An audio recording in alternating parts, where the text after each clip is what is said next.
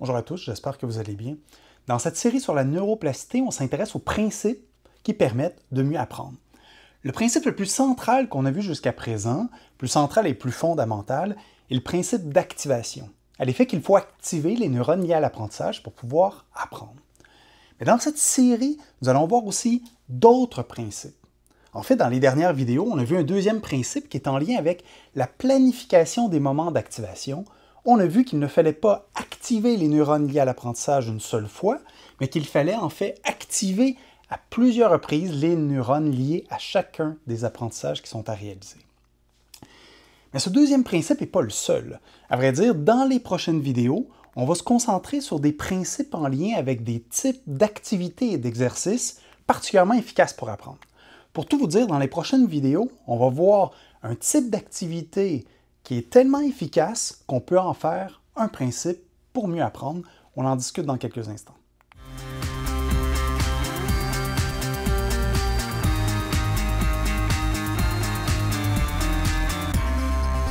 Le meilleur exercice, le meilleur truc qu'on peut faire pour mieux apprendre, c'est de s'entraîner à récupérer en mémoire. Qu'est-ce que ça veut dire, ça? Vous savez sans doute que nos souvenirs, nos connaissances sont encodés dans ce qu'on appelle notre mémoire à long terme. Et le contenu de notre mémoire à long terme n'est pas constamment présent dans notre esprit. Hein. Pour se souvenir de quelque chose, il faut mettre ce souvenir ou cette connaissance dans ce qu'on appelle notre mémoire de travail. La mémoire de travail, c'est un espace de travail mental qui nous permet de réfléchir, qui nous permet d'utiliser nos connaissances, par exemple. Mais pour que le contenu de la mémoire à long terme soit présent dans notre esprit, il faut faire un travail de récupération en mémoire.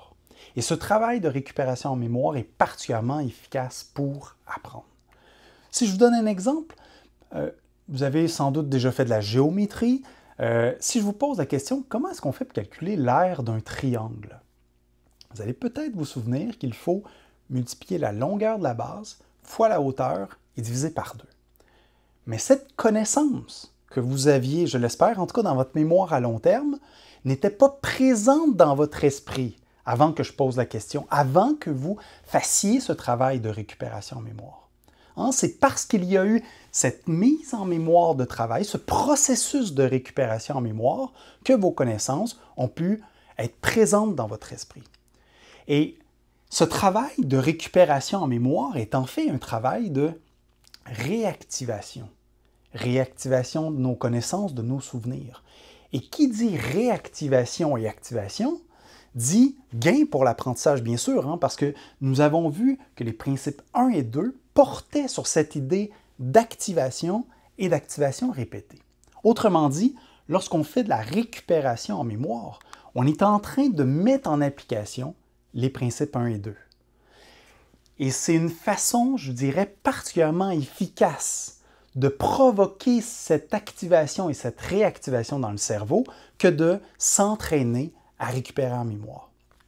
De faire l'effort à plusieurs reprises de se souvenir de nos connaissances, de se souvenir des différents éléments qu'on doit apprendre et intégrer.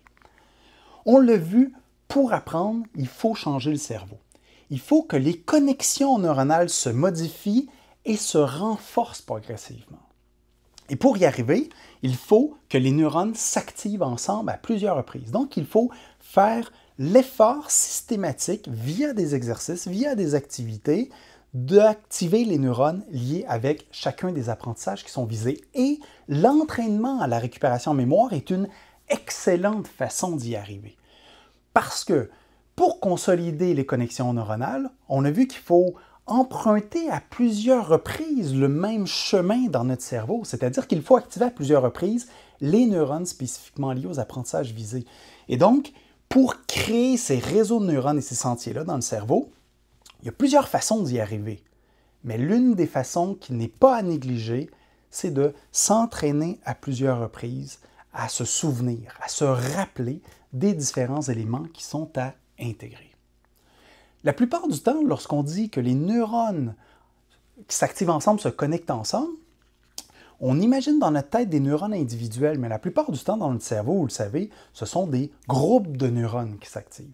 Alors, je vais, vous donner un exemple pour essayer d'illustrer cet élément-là, l'efficacité ou l'importance de la récupération en mémoire pour consolider les connexions neuronales. J'ai identifié ici deux régions cérébrales. Deux régions cérébrales qui font partie du vaste réseau d'apprentissage de la lecture. La région du bas est associée à l'identification des lettres et la région du haut est associée à l'identification des sons du langage. Hein, vous savez que lorsqu'on parle, on utilise des sons qu'on appelle en fait des phonèmes, et donc cette région réagit aux différents sons du langage. Et l'une des choses qu'on doit faire lorsqu'on apprend à lire, c'est d'établir des correspondances entre les lettres et les sons. Autrement dit, des correspondances entre certains groupes de neurones en bas sur l'image et certains groupes de neurones juste un peu plus haut sur l'image qui est présentée ici. Et lorsqu'on fait ce travail de récupération en mémoire, lorsqu'on essaie à plusieurs reprises de se souvenir, les sons des différentes lettres et des différents groupes de lettres, donc à chaque fois qu'on établit cette correspondance graphème-phonème, il se crée des connexions neuronales. Donc, plusieurs façons d'activer son cerveau, mais assurément, l'une des façons à ne pas négliger, c'est ce travail de récupération en mémoire. C'est un aspect tellement important, je le disais, qu'on va en faire un principe. Donc, les prochaines vidéos vont être consacrées à cette idée-là. Là, on vient de voir que la récupération en mémoire est un outil euh, puissant pour consolider les connexions neuronales, mais vous verrez qu'il y a beaucoup d'autres choses à dire sur l'importance de la récupération en mémoire. Si vous voulez en savoir plus sur cette question-là, en particulier sur ce qu'est la récupération en mémoire et son impact sur la consolidation des connexions neuronales, vous pouvez jeter un coup d'œil aux pages 67 à 69 de ce livre, donc Activer ses neurones pour mieux apprendre et enseigner. Dans la prochaine vidéo, on va s'intéresser à quelque chose d'un peu nouveau, je vous dirais. Dans le cerveau, il existe des régions cérébrales qui vont servir de support ou d'aide à l'activation des réseaux de neurones liés aux apprentissages visés. Et la question qu'on va se poser dans la prochaine vidéo, c'est comment est-ce qu'on fait pour activer ces régions cérébrales qui sont très importantes dans l'apprentissage? Donc, si jamais ça vous intéresse et si ce n'est pas déjà fait, je vous invite à activer les notifications. De cette façon-là, vous êtes prévenu de l'arrivée d'une nouvelle vidéo. Et comme d'habitude, si jamais vous avez des questions ou des commentaires, je vous invite à les laisser sous la vidéo. Merci beaucoup de votre attention. À bientôt.